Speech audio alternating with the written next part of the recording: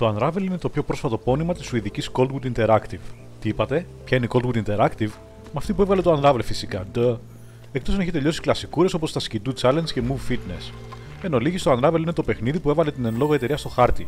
Και ο λόγος δεν είναι άλλος από την πανίσχυρη hype machine της EA, η οποία φρόντισε να μάθουν μέχρι και οι πέτρες για την ύπαρξή του. Το Unravel θα μπορούσε να ήταν άνετα το αποτέλεσμα μιας νύχτας χαλίνο του σεξ χωρίς προφυλάξεις ανάμεσα στα Limbo και Braid. Πολλοί το παρομοιάζουν και με το Little Big Planet, αλλά προσωπικά δεν το έχω παίξει, οπότε δεν μπορώ να εκφέρω γνώμη εξ επί τούτου. Πάντως είναι σίγουρο ότι θα φάτε απανοτές πλασιές από όλα τα προαναφερθέντα παιχνίδια ενώ παίζετε το Unravel.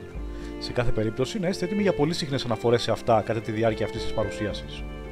Δυστυχώς το παιχνίδι έχει ένα χαρακτηριστικό των indie παιχνιδιών που προσωπικά έχει αρχίσει να με κουράζει.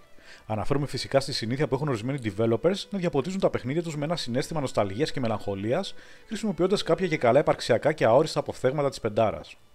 Στο Unravel αυτό καθίσταται σαφές από το εισαγωγικό κιόλα μήνυμα των δημιουργών του, στο οποίο ενδεικτικά γράφουν σε ελεύθερη μετάφραση εδώ και δύο μισή χρόνια έχουμε δώσει όλοι μας την αγάπη σε αυτό το παιχνίδι και είμαστε κατενθουσιασμένοι που μπορούμε επιτέλους να το μοιραστούμε μαζί σας. Τα παιχνίδια έχουν μεγάλη δύναμη και δίνουν ακόμη και σε ένα μικρό στούντιο σαν και εμάς την ευκαιρία να μιλήσει, έχοντας ως ακροατήριο του ολόκληρο τον κόσμο. Έχοντας αυτό κατά νου, νιώσαμε ότι έπρεπε να μιλήσουμε από καρδιάς. Έτσι προέκυψε το Unravel και γι' αυτό πραγματεύεται θέματα όπως η αγάπη, η λαχτάρα και η επιδιόρθωση χαμένων σχέσεων.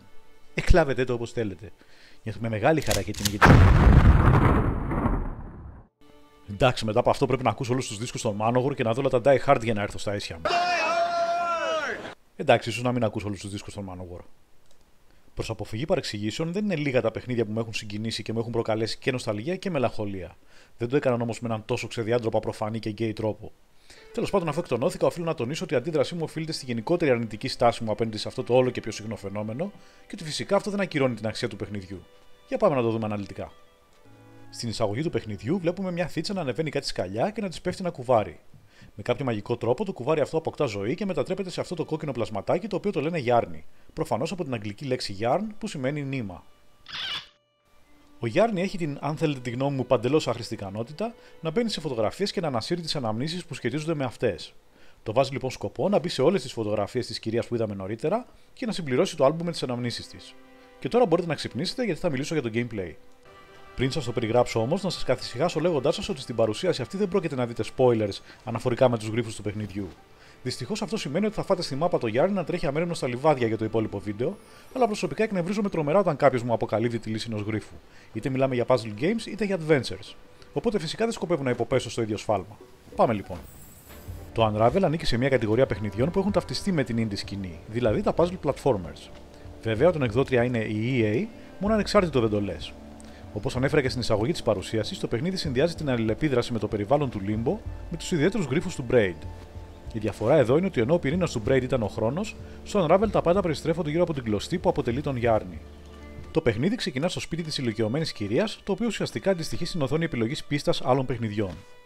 Παρότι έχουμε εξ αρχής πρόσβαση στις περισσότερες φωτογραφίες του σπιτιού, πρέπει να τις ολοκληρώσουμε με συγκεκριμένη σειρά.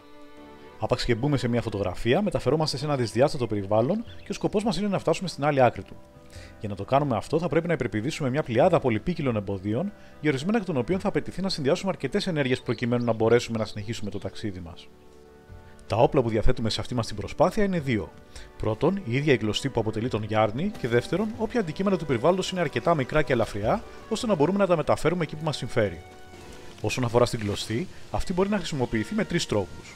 Πρώτον, μπορούμε να την εκτοξεύσουμε σαν λάσο για να σκαρφαλώνουμε ή να αερούμαστε από αυτούς τους εξυπηρετικούς κόμπους που όλος εντελώς τυχαίως βρίσκονται στα πλέον κατάλληλα σημεία. Δεύτερον, για να κατασκευάζουμε αυτοσχέδια τραμπολίνα ώστε να υπερπηδάμε κάποια ψηλά εμπόδια ή να φτάνουμε κάποιες μακρινές πλατφόρμες.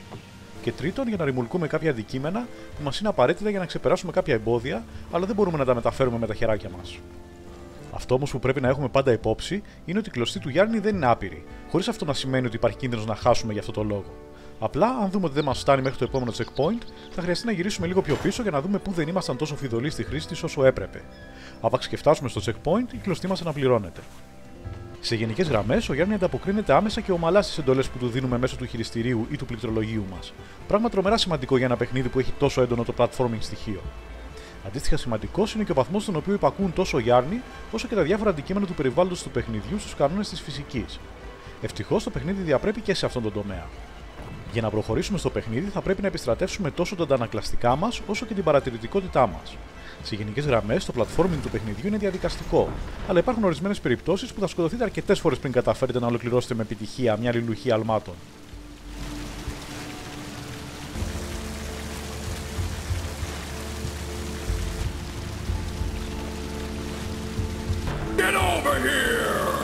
Όσον αφορά στην παρατηρητικότητα που προανέφερα, αυτή είναι πιο απαραίτητη από ό,τι σε οποιοδήποτε άλλο παιχνίδι του είδους, αφού ο κόσμος του είναι τόσο λεπτομερής που σε ορισμένες περιπτώσεις είναι πολύ δύσκολο να διακρίνουμε τα αλληλεπιδράσιμα αντικείμενα από το φόντο.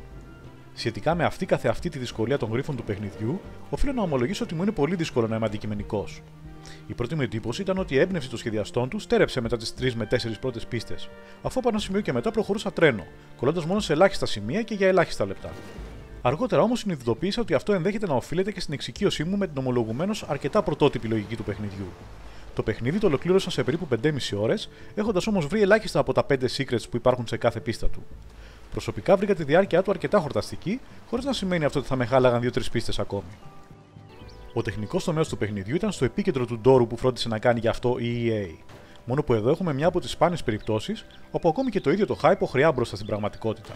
Πιστεύω ότι λίγοι θα μείνουν ασυγκίνητοι από την οπτική πανδεσία που μας προσέφεραν οι Σουηδοί της Coldwood Interactive. Αναφέρθηκα ήδη στο πόσο αρμονικά περιπλέκονται μεταξύ τους τα αλληλεπιδράσιμα αντικείμενα με το φόντο του παιχνιδιού. Ειδικά αυτό το τελευταίο είναι απίστευτα λεπτομερές, με κάθε σπιθαμή του εδάφου που διανύουμε να φαντάζει μοναδική και σχεδιασμένη στο χέρι. Η ποικιλία όμως δεν περιορίζεται σε κάθε πίστα ξεχωριστά, αλλά και από τη μία πίστα στην άλλη, αφού κάθε μία τους εκτελήσεται σε εντελώς διαφορετικά περιβάλλοντα. Από επίγειους παραδείσους μέχρι ζωφερά εργοτάξια σε συνδυασμό με την πολύ καλή φυσική του παιχνιδιού και το πολυπίκυλο animation του Γιάννη, πολλές φορές είχα την αίσθηση ότι δεν έπαιζα βίντεο παιχνίδι, αλλά έβλεπα ταινία της Pixar. Αλλά και η ηχητική επένδυση του παιχνιδιού δεν απογοητεύει, με τα διάφορα ηχητικά εφέ να ακούγονται εντελώς αυθεντικά και να ταιριάζουν απόλυτα με τις ενεργειές μας. Για τη μουσική επιλέχθηκε η κλασική μελαγχολική folk με το βιολί που πρώτα ακούσαμε στο Braid. Έχει αρχίσει να κουράζει αυτή η επιλογή, αλλά αν τη δούμε μεμονωμένα, συνοδεύει άψογα τη δράση του Unravel. Το Unravel δεν προσπαθεί να εφεύρει εκ νέου τον τροχό ούτε να ανακαλύψει τον ήλιο. Απλά συνδυάζει τα καλύτερα στοιχεία των προκατόχων του, κατά τη γνώμη μου με αρκετά μεγάλη επιτυχία. Η ομάδα ανάπτυξης δημιούργησε ένα πανέμορφο κόσμο και ας μην είχε στη διάθεση της τα καλύτερα εργαλεία γραφικών, αποδεικνύοντας ότι πολλές φορές η έμπνευση μπορεί να υπερκαλύψει τους όποιους τεχνικούς περιορισμούς. Στην τελική το αποτέλεσμα είναι που μετράει. Οι γρίφοι του παιχνιδιού παρέχουν μια σταθερά ενδιαφέρουσα πρόκληση, δυστυχώς όμως χωρίς να ζορίζουν πραγματικά τον εγκέφαλο του παίκτη, τουλάχιστον με βάση τη δική μου εμπειρία. Παρ' όλα αυτά, το Unravel καταφέρνει να ικανοποιήσει τόσο τον περιστασιακό όσο και τον πιο αφοσιωμένο gamer. Θεωρώ υπερβολικά πολλά τα 20 ευρώ που κοστίζει αυτή τη στιγμή το παιχνίδι σε συνάρτηση με όσα προσφέρει, αλλά θα σας πρότεινα ανεπιφύλακτα να το προσθέσετε αρκετά ψηλά στη λίστα των μελλοντικών αγορών σας. Δεν θα το μετανιώσετε.